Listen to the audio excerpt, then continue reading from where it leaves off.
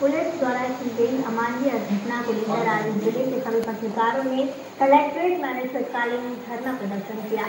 पत्रकारों की मांग है कि एसपी शामली अजय कुमार पांडे को तत्काल हटाया जाए, साथ ही एसएचओ कांडला संजीव कुमार बिश्नोई को तत्काल प्रभाव से निलंबित किए जाने की मांग को लेकर धरने पर बैठे हुए हैं। पत्रकारों ने मांगे पूरी नहीं होने तक धरना जारी रखने की चेतावनी दी है।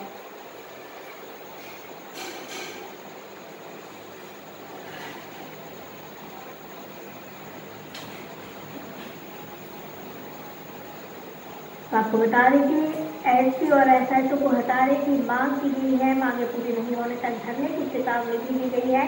एसपी के खिलाफ पत्रकारों ने धरना प्रदर्शन किया है। शामिल में पत्रकारों पर लगातार हो रहे शोषण को और करीब तीन महीने पहले एक पत्रकार के साथ अमानवीय घटना को लेकर आज ज़िले के सभी पत्रकारों ने कलेक्ट्रेट में कालीन धरना प्रदर्शन किया। पत्रकारों की मांग है कि एसपी शामिल अजय कुमार पांडे और कांझला संजीव कुमार विश्वोई को तत्काल प्रभाव से हटाया जाए।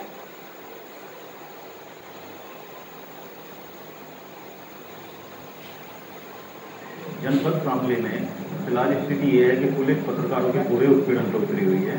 एसपी शामली अजय कुमार पांडे पूरे पत्रकारों के उत्पीड़न और साजिश की अगुवाई कर रहे हैं। अपने लोगों से मिलकर पत्रकारों के खिलाफ लगातार मुकदमे कायम कराए जा रहे हैं। और मुकदमा कायम कराने वाले जितने भी लोग हैं, वो लोग हैं जो हिस्ट्री सीटर हैं या समाज विरोधी काम में जुड़े हुए हैं और वो लगातार समाज विरोधी काम कर रहे हैं और अपराध कर रहे हैं।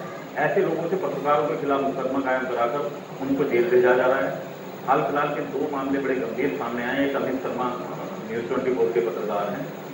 कवरेज के दौरान ढाई महीने पहले उनके साथ मारपीट की गई। डीजीपी के और मुख्यमंत्री जी के आदेश पर इस मामले की घटना जो थी वो जीआरपी थाने पे दर्ज हुई। उसकी जाँच डीजीपी ने सामने पुलिस को सौंपी और एसपी सामने ने दबाव बनाकर जो इंस्पेक्टर हैं उनसे सारी धाराएँ खत्म करवा दी और पूरी तरीके से आरोपियों को क्लीन चिट दे दी, उन्हें बहाल करा दिया और लेटर लिखकर ये दे दिया कि इनका कोई दोष नहीं है, विभाग इन्हें बहाल कर सकता है। पत्रकार अमित शर्मा के साथ जो ढाई महीने पहले जीआरपी शामली पुलिस द्वारा उत्पीड़न की कार्य कार्य किया गया। उसमें एक अमानवीय घटना तक हुई। उसके चेहरे पर पेशाब तक कर दिया जिस घटना का राष्ट्रीय मानवाधिकार आयोग और प्रेस काउंसिल ऑफ़ इंडिया ने संतर संज्ञान लिया, उसमें शामली पुलिस ने मिली भुगत करके तो सब धाराएँ भी हटा दी। हमारी सभी मांगे पहले से ये रही है कि पुलिस इस मामले में आरोपी है और पुलिस ही इसकी जाँच कर रही है। तो न्याय तो संभव ही नहीं है।